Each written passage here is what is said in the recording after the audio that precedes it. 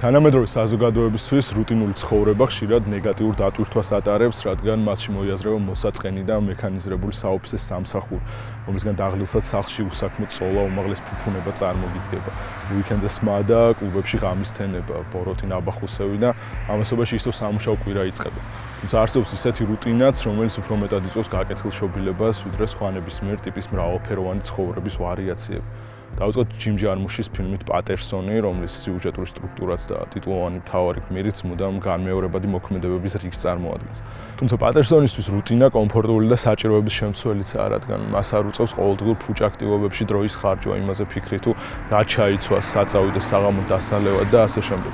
მას smartphone-ის არ აქვს, რადგან მის ფლობის საჭიროებას ვერ ხედავს. ამის გამო სოციუმში შეიძლება უცნაურად ჩაითვალოს განდგომილი ცხოვრებისეული სიამეებისგან დისტანცირებული გამოჩნდეს. თქოს მის ცხოვრებაში არაფერი ხდება. მაგრამ რეალურად სწორედ ის ფიქსირდება ყველაზე ძლიერად ცხოვრებაში, რადგან ყველაფერი რაც გარშემო არსებობს, მისი შთაგონების და კვლევის და აკვირვების საგანი ხდება. ის ამ რუტინაში პოეტს და ქმნის პოეზიას. მას შეუძლია საგნების ერთმანეთთან დაკავშირება, მათი არსებობისთვის საჭიროების გამონახვა, რომანტიკული მნიშვნელობის დაკისრება, ეგზისტენციის საერთოობის აღქმა და ამ შვენიერების დაფასება, მისი ტკბობა, ის მეშვეობითაც დღის ბოლოს ის ყველაზე კმაყოფილი, სავსე და მოლოდინებით ახსილი იძინებს და შემდეგ დღეს არა როგორც მოსაწყენ მოქმედებათა ჯაჭვს, არამედ როგორც ექსპედიციას ისე უყურებს. სადაც მუდმივად ახალს და საინტერესოს დაინახავს, მოისმენს, წაიკითხავს, იგრძნობს და მაქსიმალურად მიიღებს კმაყოფილებას, როგორც არქეოლოგი, რომელიც გამუდმებით აკეთებს მნიშვნელოვან აღმოჩენებს. ჯარმში ირონიულად ეკიდება ჩვენ მოლოდინებს, ცხოვრებისეულ განწყობებს და ილუზიებს, კლიშეებით ნაკობ წარმოდგენებს ყველაფერზე. იმაზე რომ სრულყოფილად ცხოვრება მოითხოვს უიკენდზე ინტენსიურ გართობას, რუტინაში მოხვედრა მისგან უპირობო გათავისუფლებას, სამსახურ პრესტიჟულობას, ურთიერთობათა აუცხრომელ ნებას და სექსუალურ თავგადასავლებს. ჯარმში გვეუბნება რომ ეს ყველაფერი კლიშეა, რომ ერთფეროვნება შეიძლება გაცილებით მეტი მრავალფეროვნება იყოს და პირიქით. ყველაფერი სემანტიკაზეა და აღქმის უნარზე დამოკიდებული. ვიღაც თუ შესაძლო პატერსონის ცხოვრება და ავტობუსის ფსხოლის პროფესია მოსაწყენი და ტრივიალური იყოს, რადგან სამხმარებლო კულტურა წარმატების რეალიზების და შემდგარი ადამიანის ცხოვრების აღწერაში სხვა პრიორიტეტებს გვიწესებს, სადაც მატერიალისტური საგნების ფლობა, ფინანსური უპირატესობა, თავშობული გართობა მოიაზრება. ასე იქნება სიცოცხლეზე მაქსიმალური ფიქსაციის ილუზია, მაგრამ რეალურად ხდება ფაბრიკაცია, საჭიროება მოკლებული ჭარბი რეალობის წარმოქმნა და ყოფიერებისგან გარიდება.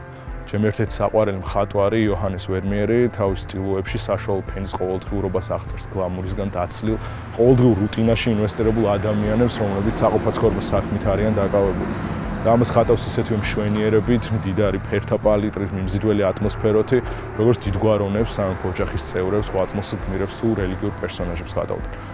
თუმცა მისთვის ისეთ რუტინული და ერთი შეხედვით მრავალფეროვნებისგან დაცილი გარემო როგორც პროვინციალურ ყოველდღიურობა მარტივ სილამაზის წყაროს წარმოადგენს.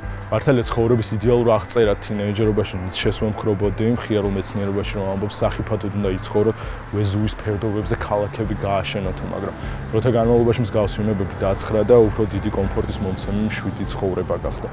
ამერიკელი ფილოსოფოსი ჰენრი დევიდ თორო თავის ნაშრომში ვოლდენი აღწერს პირად გამოცდილებებს, რომელიც საზოგადოებისგან გარიდებულად დღის ქოხში რუტინული ცხოვრებით მიიღო, სადაც ჰუმანურობით აივსო, თვითანალიზით დაკავდა ბუნებასთან სიახლოვე გონებრივი გაჯანსაღება გამოიწვია და ასე შემდეგ. თუმცა მისი ყოველდღიურობა მხოლოდ ხანგრძლივი სეირნობით და თავის დაკვირვებების დოკუმენტირებით შემოიფარგლებოდა. და მიუხედავად ამ შეიძლება ითქვას ერთფეროვნებისა და ბევრი ფიქრებთ ალბათ მოსაწყენი აქტივობების მიუხედავად მნიშვნელოვან პოლიტიკურ აქტორად ჩამოყალიბდა, რომლის იდეებმაც თააგონა ანტინაცისტური მოძრაობა, ამერიკის სამოქალაქო უფლებების მოძრაობა თუ სხვა. ზემოთ მოყვანილი სამი მაგალითი იმის ილუსტრაციას ახდენს თუ რამდენად პროდუქტიული, ჩქეფარე, იდილიური და სიმშვიდის მომნიჭებელი შეიძლება იყოს რუტინული ცხოვრება.